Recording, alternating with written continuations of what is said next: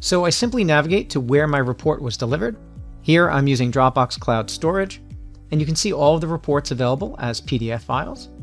I just click on this one here, and you can see a beautifully formatted operational report that was just distributed from our new reporting service available in Qlik Application Automation. Now, how sexy is that? Hey guys, this is Mike Tarallo with Qlik, and today I'm here to introduce you to yet another fantastic innovation, our new Qlik Reporting Service. This initial release of the Qlik Reporting Service provides multi-channel, multi-page report output distribution and delivery of QlikSense insights to your organization.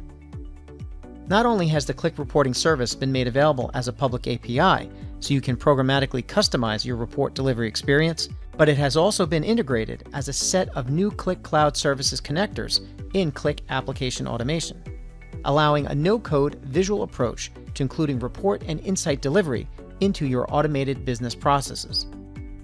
Let me give you a brief demonstration of a simple scenario of report distribution using Qlik Application Automation, so you can see how it works. Okay guys, I have some really, really exciting stuff to show you. The first part of this is just going to be a quick just show me how it works.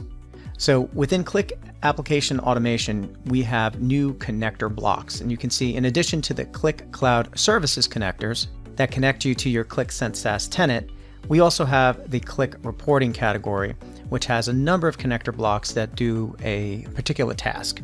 Now, as I mentioned, these tasks are also exposed as a public API. Now, I'm not going to get into the public API, but just know that Qlik Application Automation Report Service Connectors exposes a number of the APIs for a visual no-code approach to building your workflows. So we have our start block, and you could always refer to our other Qlik application automation videos for more information on all of this stuff. But in this case, we are just going to do a quick manual execution of this. You can schedule it, can be triggered, can be uh, also accessed through a webhook. So we have a create report connector block, and this connects to my QlikSense tenant and allows me to access the apps and I give it a name. And we'll go through a build process of this in the second part. I'm going to select a sheet. In this case, we have add sheet to report. And then we have the generate report, which is responsible for creating this initial release, a PDF document.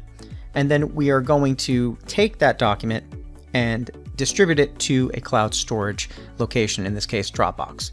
That's it. So I'm just going to click on run.